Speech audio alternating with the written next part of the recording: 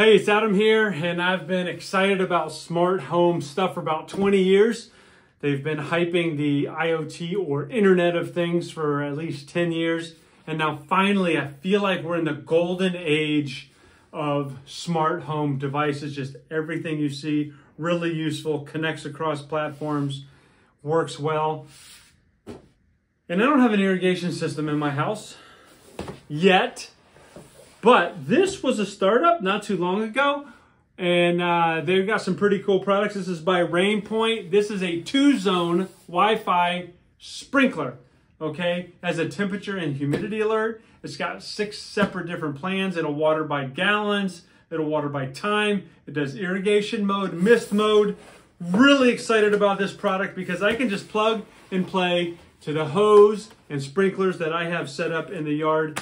This will handle two sprinklers at a time. It also comes with this base weather station. Why? Because it will actually tie in how much to water based on what's happening outside, based on humidity, temperature, when it rained last. Look at this. I mean, come on. It has a base weather station.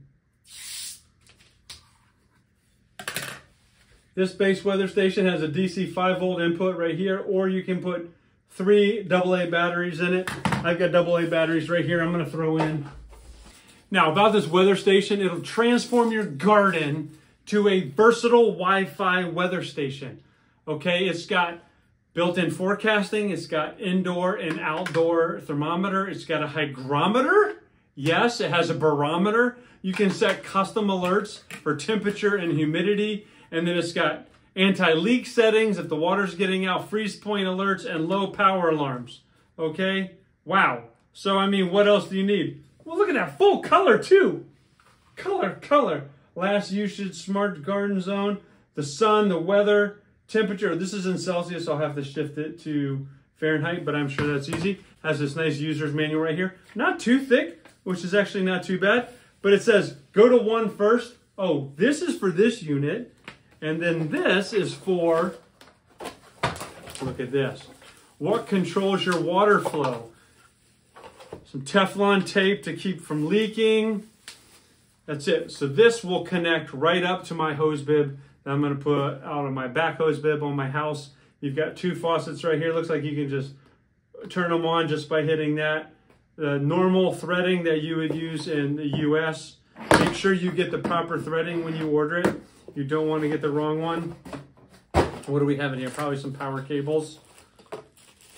Oh, this is this is actually for the for the weather station. So if I want the weather station to go in a certain spot, nice. Like a six, that's a, like a two meter cable right there. That's good. So many times I make this like three feet long and you can't really do anything with it. Boom, just like that.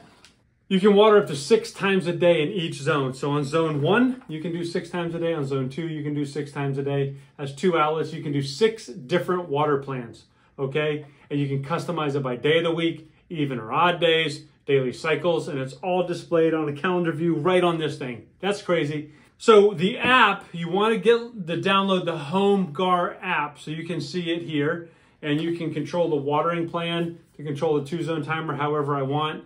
So that's really nice. I can effortlessly manage my garden irrigation. Although in my case, it's going to be my yard. And you can do precise watering by gallon. So because this hose timer has a built-in flow meter, that's right, inside is a built-in flow meter. You can water based on up to 0.1 accuracy on gallons. So if you just want to throw 10 gallons out there, 100 gallons out there, whatever. And then there's a mist mode, which you can save up to 39% of water. So in addition, in addition to the irrigation mode, which is like dump water out, you can do mist water. And it'll do shorter watering times, one second to 60 minutes, and then more frequent intervals, one second to 60 minutes. And so it'll add moisture to your lawn on the hot days, leaving up to savings up to 39%. So the HomeGar app allows you to manage and share the irrigation schedule with family members too.